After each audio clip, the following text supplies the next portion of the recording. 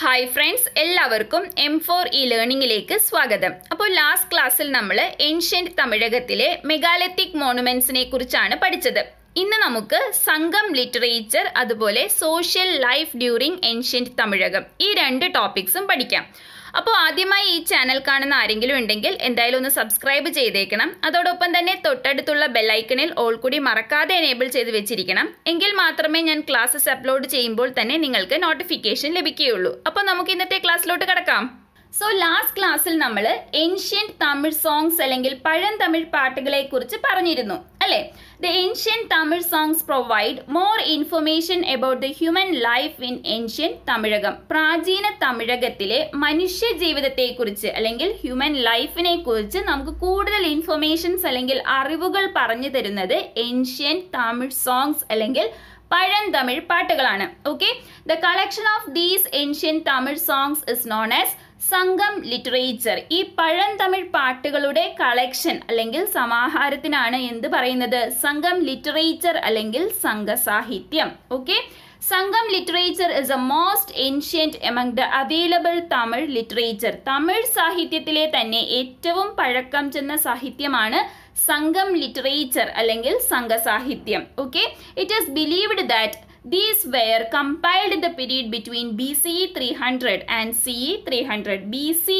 ഹൺഡ്രഡിനും C E three ഹൺഡ്രഡിനും ഇടയിലാണ് സംഘസാഹിത്യം എഴുതപ്പെട്ടത് എന്നാണ് വിശ്വസിക്കുന്നത്. ഓക്കെ അപ്പോൾ സംഘം ലിറ്ററേച്ചർ അല്ലെങ്കിൽ സംഘസാഹിത്യം എന്ന് പറഞ്ഞാൽ എന്ത് തന്നെയാണ് പഴന്തമിഴ് പാട്ടുകളുടെ സമാഹാരമാണ്. ഓക്കെ ഇനി സംഘം ലിറ്ററേച്ചറിലെ ഒരു ഏൻഷ്യന്റ് തമിഴ് സോങ്ങിൽ നിന്നും എടുത്തിട്ടുള്ള ഏതാനും വരികളാണ് ഇവിടെ കൊടുത്തിരിക്കുന്നത്. നാട കൊൻട്രോ കാടാ കൊൻട്രോ എന്ന് തുടങ്ങുന്ന ഈ ഏൻഷ്യന്റ് തമിഴ് സോങ് അല്ലെങ്കിൽ പഴം തമിഴ് പാട്ട് രചിച്ചിരിക്കുന്നത് ഔവയ്യാർ ആണ് ആരാണ് Avvaiyar the lines given above was written by Avvaiyar a famous poet during Sangam period. Sangam പീരീഡിലെ അല്ലെങ്കിൽ സംഘസാഹിത്യം നിലനിന്നിരുന്ന ആ കാലഘട്ടത്തിലെ ഒരു ഫേമസ് പോയറ്റ് ആയിരുന്നു Avvaiyar okay like Avvaiyar there were several women poets during that period ഔവയ്യാറിനെ പോലെ ഒരുപാട് വുമൺ പോയറ്റ്സ് ആ കാലഘട്ടത്തിൽ ഉണ്ടായിരുന്നു. Kapilar Paranar Madurai Nakkiran Palai Gautamanar etcetera were the major poets of the period ഇനി കവിമാരാരൊക്കെയായിരുന്നു? കപിലർ പരണർ മധുരൈന കീരൻ പാലേ ഗൗതമനാർ. ഇവരൊക്കെയായിരുന്നു ഫേമസ് പോയറ്റ്സ് ഓക്കെ ഇനി നമുക്ക് കുറച്ച് പ്രധാനപ്പെട്ട സംഘം വർക്ക്സ് അല്ലെങ്കിൽ സംഘം കൃതികൾ ഏതൊക്കെയാണെന്ന് നോക്കാം. ഓക്കെ അപ്പോൾ സംഘസാഹിത്യത്തിലെ പ്രധാനപ്പെട്ട കാറ്റഗറീസ് അല്ലെങ്കിൽ വിഭാഗങ്ങളാണ് പത്തുപാട്ട് എട്ട് തൊക്കെ പതിനെൺ കീഴ്ക്കണക്ക് ഗ്രാമർ ടെക്സ്റ്റ് മഹാകാവ്യ. ഈ വിഭാഗങ്ങളാണ് പ്രധാനമായിട്ടും സംഘസാഹിത്യത്തിലുള്ളത്. ഏതൊക്കെയാണ്? Pathu Pattu Ettu Thokai Pathinen Kilkanakku grammar text and Mahakavya. ഇനി ഈ ഓരോ വിഭാഗത്തിലെയും പ്രധാനപ്പെട്ട കൃതികൾ അല്ലെങ്കിൽ വർക്ക്സ് ഏതൊക്കെയാണെന്ന് നോക്കാം. പത്തു പാട്ട് എന്ന വിഭാഗത്തിൽ പെടുന്നതാണ് തിരുമുറുക്കാട്ടുപ്പടை ആൻഡ് മധുരൈ കാഞ്ചി മധുരൈ കാഞ്ചിയും തിരുമുറുക്കാട്ടുപ്പടയും പത്തുപാട്ട് എന്ന വിഭാഗത്തിൽ പെടുന്നതാണ്. അതുപോലെ എട്ട് തൊക്കെ എന്ന കാറ്റഗറിയിൽ വരുന്ന മേജർ വർക്ക്സ് ആണ് അകനാനൂറ് പുറനാനൂറ് പതിറ്റുപത്ത്. ഏതൊക്കെയാണ്? അകനാനൂറ് പുറനാനൂറ് പതിറ്റുപത്ത്. ഇത് മൂന്നും എട്ട് തൊക്കെ വിഭാഗത്തിൽ പെടുന്നതാണ്. ഇനി അടുത്തത് പതിനേഴ് കീഴ്ക്കണക്ക് എന്ന കാറ്റഗറിയിൽ വരുന്ന വർക്ക്സ് ആണ് തിരുക്കുറലും മുതുമൊഴി കാഞ്ചിയും ഏതൊക്കെയാണ്? തിരുക്കുറൽ ആൻഡ് മുതുമൊഴി കാഞ്ചി ഇനി ഗ്രാമർ ടെക്സ്റ്റ് എന്ന വിഭാഗത്തിൽ വരുന്നതാണ് തൊൽക്കാപ്പിയം. തൊൽക്കാപ്പിയം ഗ്രാമറാണ് ഓക്കെ തൊൽക്കാപ്പിയം ഗ്രാമറാണ് ഇനി മഹാകാവ്യ എന്ന വിഭാഗത്തിൽ വരുന്നതാണ് ചിലപ്പതികാരവും മണിമേഖലയും. ചിലപ്പതികാരവും മണിമേഖലയും ഏത് വിഭാഗത്തിൽ പെടുന്നതാണ്? മഹാകാവ്യ എന്ന വിഭാഗത്തിൽ പെടുന്നതാണ്. ഓക്കെ? ഇനി പതിനെൺ കീഴ്കണക്ക് എന്ന വിഭാഗത്തിൽ പെടുന്ന തിരുക്കുറലിലെ വരികളാണ് ഇവിടെ കൊടുത്തിരിക്കുന്നത്. ഇതുകൊണ്ട് അർത്ഥമാക്കുന്നത് എന്താണെന്ന് നമുക്ക് നോക്കാം. Learn carefully and thoroughly practice what has been learned imbibe it and live accordingly അതായത് learn carefully and thoroughly careful ആയിട്ട് മനസ്സിരുത്തി പഠിക്കുക. Practice what has been learned എന്താണോ നമ്മൾ പഠിച്ചത് അത് പ്രാക്ടീസ് ചെയ്യുക. Imbibe it and live accordingly അതിനനുസൃതമായിട്ട് ജീവിക്കുക. ഇതാണ് തിരുക്കുറലിലെ ഈ സന്ദേശം. Okay now the ancient Tamil songs are classified into Akam പാട്ടുകൾ ആൻഡ് പുറം പാട്ടുകൾ പ്രാചീന തമിഴ് സോങ്സ് അല്ലെങ്കിൽ പഴന്തമിഴ് പാട്ടുകളെ അകം പാട്ടുകൾ എന്നും പുറം പാട്ടുകൾ എന്നും രണ്ടായി ക്ലാസിഫൈ ചെയ്തിരുന്നു. ദ തീം ഓഫ് അകം പാട്ടുകൾ is mainly personal and family affairs Akam പാട്ടുകളുടെ തീം അല്ലെങ്കിൽ അകം പാട്ടുകൾ എന്തിനെക്കുറിച്ചുള്ളതായിരുന്നു? പേഴ്സണൽ ആൻഡ് ഫാമിലി അഫയേഴ്സിനെ കുറിച്ച് ഉള്ള പാട്ടുകളാണ് അകം പാട്ടുകൾ. എന്നാൽ പുറം പാട്ടുകൾ എന്തുമായി ബന്ധപ്പെട്ടതാണ്? പുറം പാട്ടുകൾ treat external affairs like war and trade പോർവീരന്മാരെ കുറിച്ചുള്ള അതുപോലെ തന്നെ വ്യാപാരത്തെക്കുറിച്ചൊക്കെയുള്ള പാട്ടുകളാണ് പുറം പാട്ടുകൾ. ഓക്കെ അകം പാട്ടുകൾ ഫാമിലിയെക്കുറിച്ചും പേഴ്സണൽ കാര്യങ്ങളെക്കുറിച്ചുമുള്ളതാണെങ്കിൽ പുറം പാട്ടുകൾ വാർ ആൻഡ് ട്രേഡിനെ കുറിച്ചുള്ളതായിരുന്നു. Okay the Sangam literature illustrates physiography plentiful resources food habits dressing patterns ornaments recreational activities customs major occupations and beliefs of that period അപ്പോൾ സംഘസാഹിത്യത്തിൽ മറ്റെന്തെല്ലാം കാര്യങ്ങളെക്കുറിച്ച് പ്രതിപാദിക്കുന്നുണ്ട്?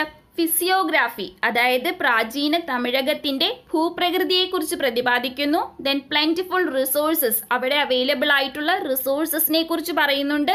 ദെൻ ഫുഡ് ഹാബിറ്റ്സ് അവരുടെ ഭക്ഷണ രീതി ഡ്രസ്സിംഗ് പാറ്റേൺസ് അവരുടെ വസ്ത്രരീതി ദെൻ അവർ ധരിച്ചിരുന്ന ഓർണമെന്റ്സ് റിക്രിയേഷണൽ ആക്ടിവിറ്റീസ് അതായത് ഒഴിവ് സമയങ്ങൾ അവർ ഏതെല്ലാം രീതിയിൽ സ്പെൻഡ് ചെയ്തിരുന്നു അതിനെക്കുറിച്ച് ദെൻ കസ്റ്റംസ് അവരുടെ ആചാരങ്ങളെക്കുറിച്ച് മേജർ ഓക്യുപ്പേഷൻസ് അവർ ചെയ്തിരുന്ന തൊഴിലിനെക്കുറിച്ച് and believes of the period അവരുടെ വിശ്വാസങ്ങളെക്കുറിച്ച്.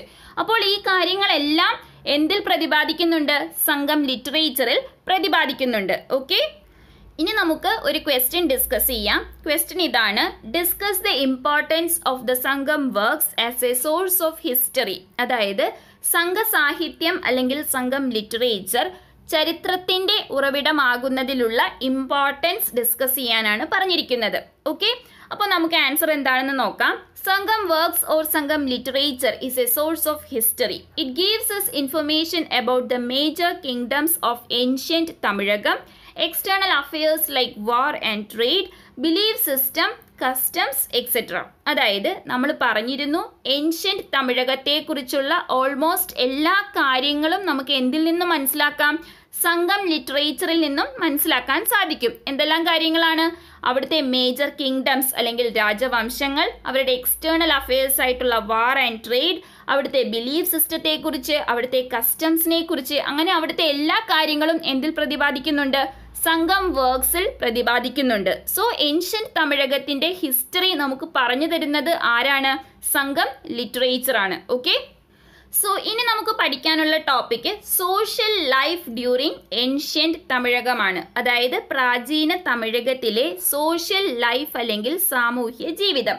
സോ ഏൻഷ്യൻ തമിഴകത്തിലെ സോഷ്യൽ ലൈഫിനെ കുറിച്ച് നിങ്ങൾ ഫിഫ്ത്ത് സ്റ്റാൻഡേർഡിൽ കുറച്ച് കാര്യങ്ങളൊക്കെ പഠിച്ചിട്ടുണ്ട്. അപ്പോൾ നിങ്ങൾക്ക് അതൊക്കെ ഓർമ്മയുണ്ടോ എന്ന് നമുക്കൊന്ന് ടെസ്റ്റ് ചെയ്യാം. Okay the Tinas had an important role in moulding the social life of ancient Tamilakam. തിനാസ് അല്ലെങ്കിൽ തിണകളെക്കുറിച്ച് നിങ്ങൾ അഞ്ചാം ക്ലാസ്സിൽ പഠിച്ചിട്ടുണ്ട്. ഏൻഷ്യൻ തമിഴകത്തിലെ സോഷ്യൽ ലൈഫിനെ മോൾഡ് ചെയ്തെടുക്കുന്നതിൽ പ്രധാന പങ്ക് വഹിക്കുന്നത് ഈ തിണകളാണ്. അപ്പോൾ ഈ തിണകൾ എന്താണെന്ന് നമുക്കറിയണ്ടേ? നമുക്ക് നോക്കാം. ഏൻഷ്യന്റ് തമിഴകത്തിന്റെ അല്ലെങ്കിൽ പ്രാചീന തമിഴകത്തിന്റെ ഭൂപ്രകൃതിയെ അല്ലെങ്കിൽ ഫിസിയോഗ്രാഫിയെ നമുക്ക് അഞ്ച് തിണകളായിട്ട് ഡിവൈഡ് ചെയ്യാം. അതേതൊക്കെയാണ്? കുറിഞ്ഞി മുല്ലൈ പാലൈ മരുതം നെയ്തൽ ഇപ്പം നിങ്ങൾക്ക് ഓർമ്മ വന്നിട്ടുണ്ടാകും അല്ലേ? ഫിഫ്ത്ത് സ്റ്റാൻഡേർഡിൽ നമ്മൾ ഈ അഞ്ച് തിണകളെക്കുറിച്ചും പഠിച്ചിട്ടുണ്ട്. ഓക്കെ ഏതൊക്കെയാണ്? കുറിഞ്ഞി മുല്ലൈ പാലൈ മരുതം നെയ്തൽ അപ്പോൾ ഈ ലാൻഡ് നെയിം അല്ലെങ്കിൽ ഈ തിണകളെല്ലാം ഏത് ടൈപ്പിൽ പെടുന്നതാണെന്ന് നമുക്കിനി നോക്കാം. കുറിഞ്ഞി എന്ന് പറയുന്ന പ്രദേശം മൗണ്ടെയ്ൻസ് ആയിരിക്കും. അതായത് നിറച്ച് കുന്നുകളൊക്കെയുള്ള പ്രദേശമാണ് കുറിഞ്ഞി പ്രദേശം. ഇനി മുല്ലയാണെങ്കിലോ ഗ്രാസ് ലാൻഡ് ആയിരിക്കും. പുൽമേടുകളാണ് മുല്ലയിൽ കൂടുതലായി കണ്ടുവരുന്നത്. ഇനി പാലേ എന്ന് പറയുന്ന പ്രദേശം കൂടുതലും ഡ്രൈ ലാൻഡ് ആയിരിക്കും. ഡെസേർട്ട് ഏരിയാസ് ആണ് പാലയിൽ വരുന്നത്. ഓക്കെ മരുതമാണെങ്കിലോ? ഫീൽഡാണ്. അതായത് കൃഷി ചെയ്യുന്ന സ്ഥലമാണ് മരുതം. ഓക്കെ? ഇനി നെയ്തലാണെങ്കിലോ? കോസ്റ്റൽ ഏരിയാസ് ആണ്. കടൽ തീരങ്ങളാണ് നെയ്തൽ എന്ന വിഭാഗത്തിൽ വരുന്നത്. അപ്പോൾ കുറിഞ്ഞി പ്രദേശം മൗണ്ടെയിൻസ് ആണ്. മുല്ലൈ പ്രദേശം ഗ്രാസ് ലാൻഡ് ആണ്. പാലൈ ഡ്രൈ ലാൻഡ് ആണ്. മരുതം ഫീൽഡാണ് നെയ്തൽ കോസ്റ്റൽ ഏരിയാസ് ആണ്. ഇനി ഈ പ്രദേശങ്ങളിൽ ഉള്ള ആളുകൾ ചെയ്തിരുന്ന ജോലികൾ എന്തൊക്കെയാണെന്ന് നമുക്ക് നോക്കാം. കുറിഞ്ഞി പ്രദേശത്ത് മൗണ്ടെയ്ൻസ് ആയിരുന്നു അവിടുത്തെ ആളുകൾ. ഹണ്ടിങ് അല്ലെങ്കിൽ വേട്ടയാടുന്നവരായിരുന്നു. മുല്ലേ പ്രദേശം ഗ്രാസ് ലാൻഡ് ആണ്. അതുകൊണ്ട് തന്നെ അവിടുത്തെ ആളുകൾ എന്ത് ചെയ്തു? പശുവിനെയൊക്കെ വളർത്തി അവരുടെ ജോലി കാറ്റിൽ റെയറിംഗ് ആണ്. ഓക്കെ പാലേ പ്രദേശം ഡ്രൈ ലാൻഡ് ആണ്. അവിടെ പ്രത്യേകിച്ച് ഒന്നും തന്നെ ചെയ്യാൻ പറ്റില്ല. മരുഭൂമി പോലത്തെ പ്രദേശമാണ്. അപ്പോൾ അവിടുത്തെ ആളുകൾ എന്ത് ചെയ്തു? അവർ കൊള്ളയടിച്ചു. അവർ തീവ്സ് ആണ്. ഓക്കെ മരുതം പ്രദേശം ഫീൽഡാണ് അവർ ഫാമിംഗ് ചെയ്തു. അതായത് അവർ കൃഷി ചെയ്തു. ഓക്കെ ഇനി നെയ്തൽ പ്രദേശം കടൽ തീരം ആയതുകൊണ്ട് തന്നെ അവിടുത്തെ ആളുകൾ എന്ത് ജോലിയിൽ ഏർപ്പെട്ടു? ഫിഷിങ്ങും അതുപോലെ സോൾട്ട് മേക്കിംഗ് ഉപ്പ് നിർമ്മാണത്തിലും അതുപോലെ ഫിഷിങ്ങിലുമാണ് നെയ്തൽ പ്രദേശത്തിലെ ആളുകൾ ഏർപ്പെട്ടിരുന്നത്. Okay so hunting and collecting of forest resources were the means of livelihood of the people in hilly Kurinji Kurinji mountain areas ആണ് അല്ലെങ്കിൽ ഹില്ലി പ്രദേശമാണെന്ന് നമ്മൾ പറഞ്ഞു. അവിടുത്തെ ആളുകളുടെ മെയിൻ ജോലി ഹണ്ടിങ് ആണ്.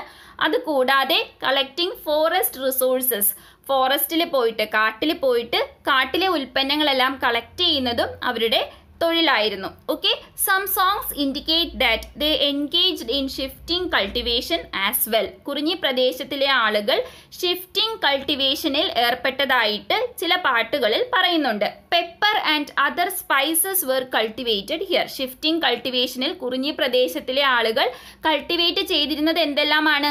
പെപ്പർ കുരുമുളകും മറ്റ് സ്പൈസസുമാണ് okay now rearing of cattle was a major occupation of the people of Mullai Mullai പ്രദേശം ഗ്രാസ് ലാൻഡ് ആണ്.